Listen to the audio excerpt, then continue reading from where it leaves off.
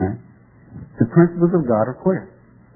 This man was being prosperous because he saw Joseph and he dealt well with Joseph.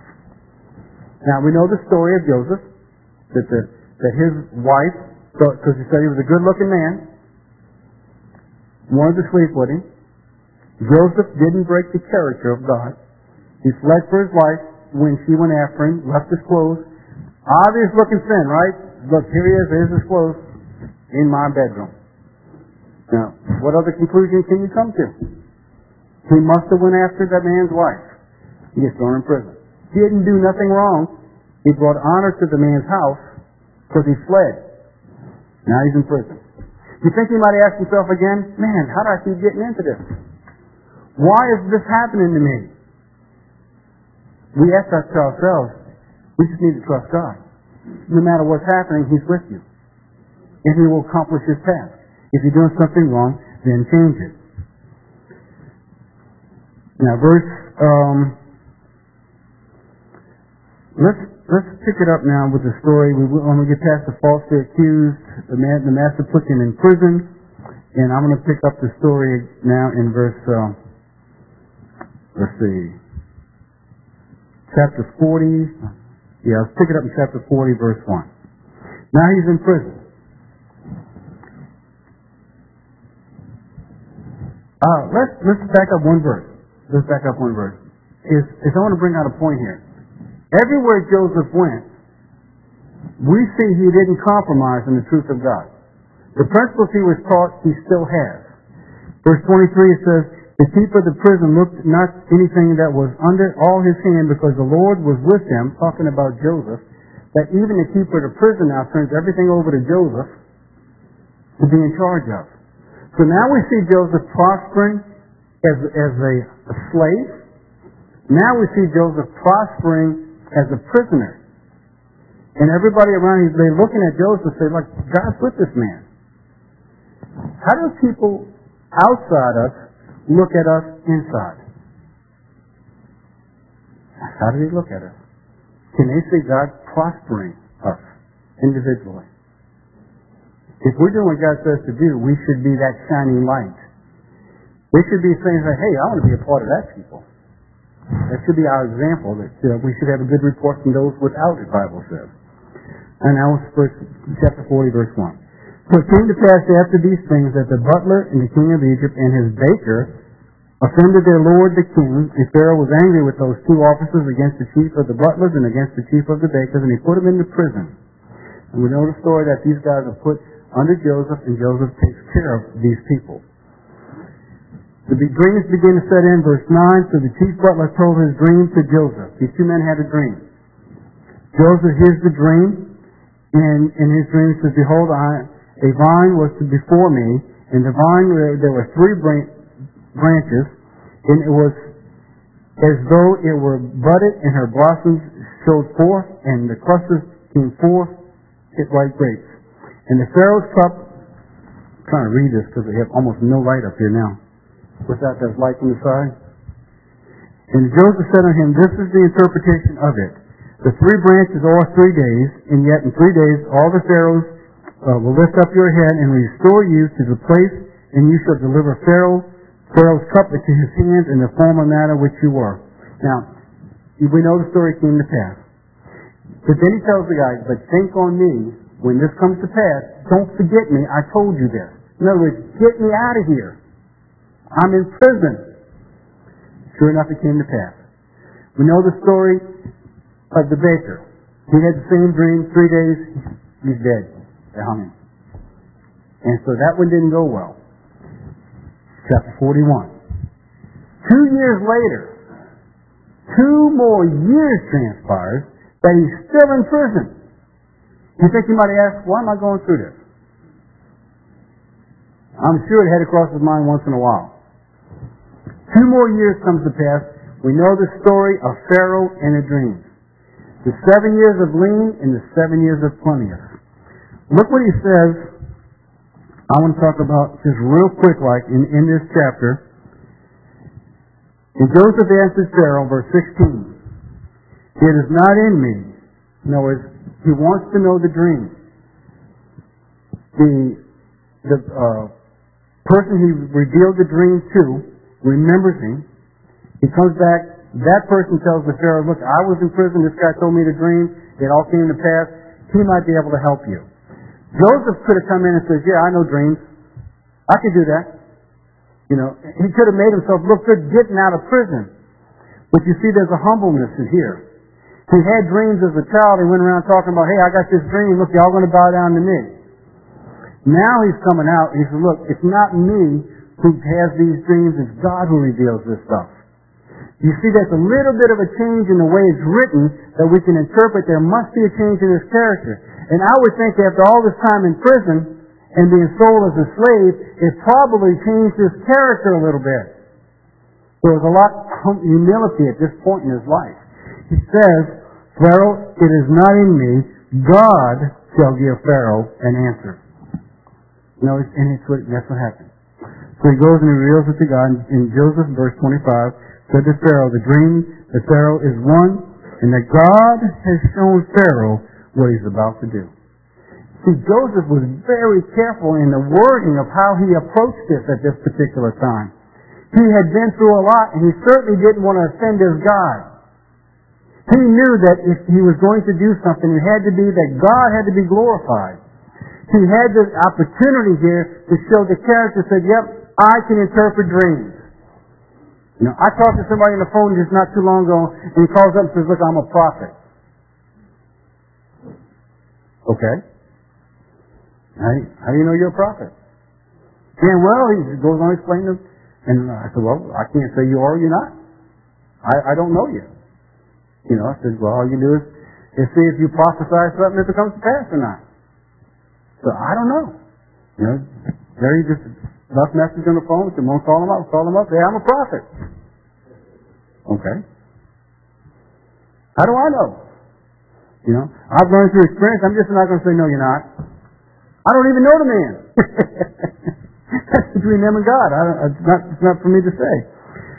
What I'm saying here is that if God used you in the past to do something, if you come back and say, oh, I can do that, chances are God's not going to use you next time.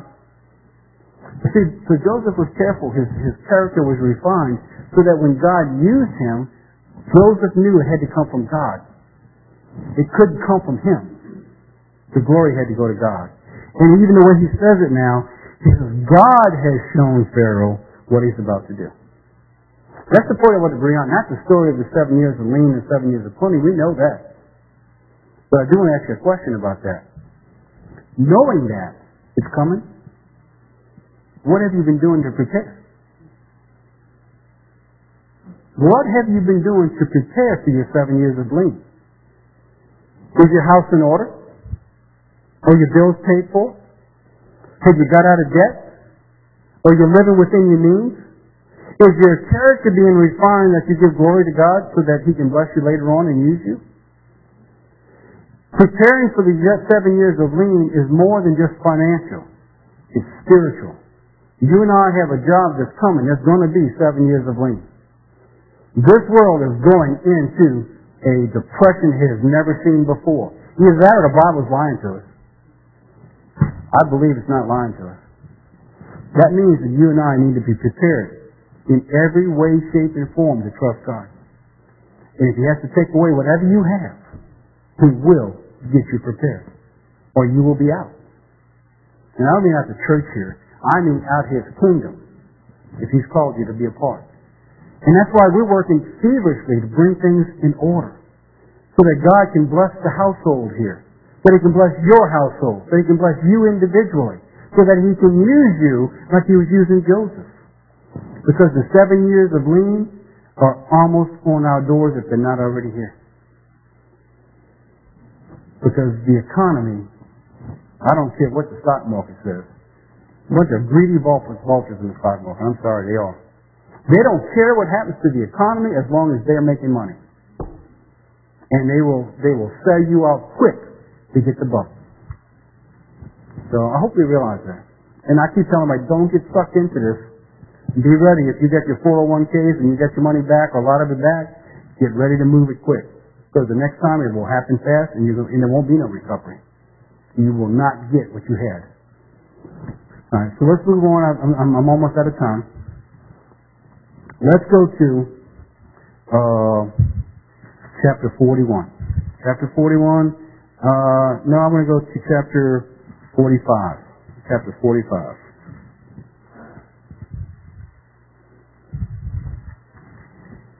Then I'm going to come back to chapter 42. Just a second. Joseph said to his brethren, remember the seven years of, of, of lean begins to hit? We know the seven years of plenty. He told Pharaoh what was going on. Pharaoh put him in charge of everything. Everything was given to Joseph. What do you think God put him through those trials? Joseph had to be able to deal with this position in a way that he would not fail. The only way to know that he's not going to fail is to go through the trials before you get there. He had to focus on what was important in his life. He began to have the riches with Potiphar. He had the lack in prison. And he knew how to trust God by that time. So that God put him in this position, he was the second most powerful person on the face of the earth. Those dreams begun to come to pass now that everybody's starting to bow down to Joseph. The sun, the moon, and everything was, was down to that seven years of lean. His family began to bow down. And Joseph had to remain focused on God and balance out that it wasn't important anymore that he was the most powerful person under Pharaoh or the wealthiest man under Pharaoh. Imagine being the most powerful. You're, you're a Bill Gates. You know, you're, or, or in fact, he wasn't even near as powerful as Joseph was at that time. But to be able to serve God in that position.